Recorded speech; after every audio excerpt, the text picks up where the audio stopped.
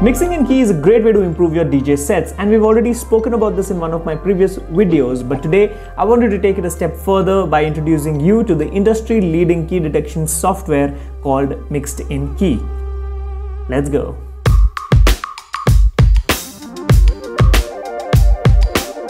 Hello there boys and girls, my name is Deep. Welcome to my YouTube channel. I make videos about DJing and tech so if this interests you, please consider subscribing.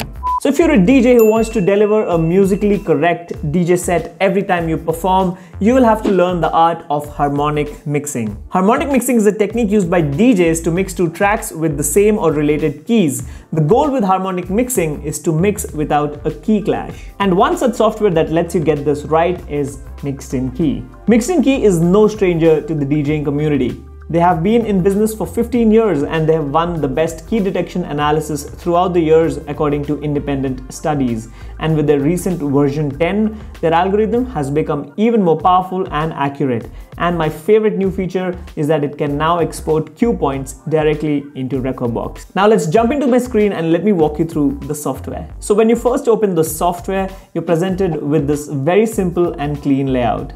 Let me start by importing some tracks in here.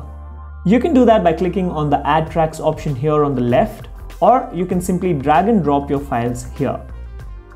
Right when you drop your files, the software starts processing your files very quickly.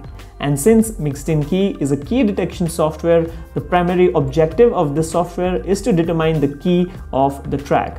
And Mixed in Key 10 does this in the most accurate way.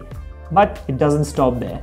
Mixed in Key also determines the tempo and the energy of your tracks and adds that data in the comments section. And when you load a track, you can also see that it has added some cue points and when you listen to them,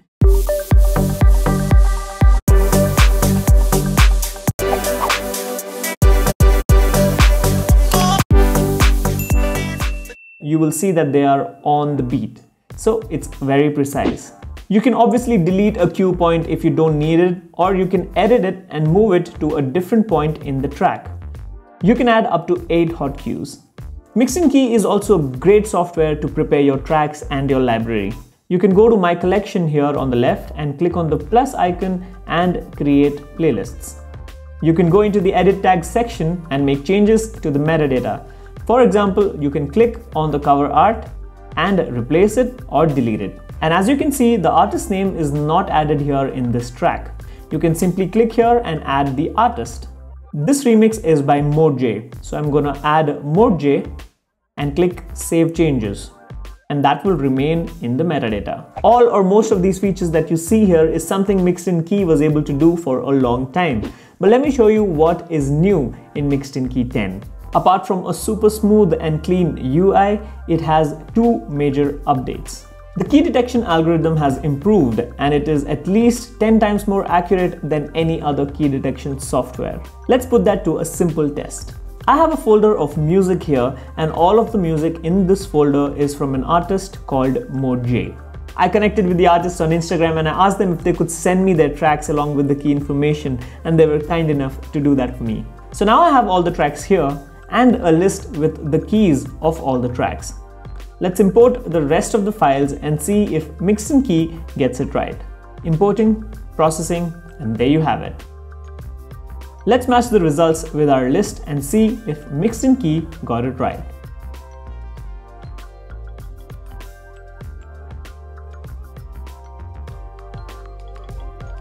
Nice. And as you can see, Mixed in Key has gotten all of the keys right and that is the magic of Mixed in Key version 10. In this case, I was able to connect with the artist and get the key information, but that's not always going to happen with all of the tracks that I have in my collection. But thanks to this test, I think you can import any music under the sun into this software and you can be sure that Mixed in Key will get it right. And if you still have doubts, you can use the inbuilt virtual piano and match the sound with a traditional piano.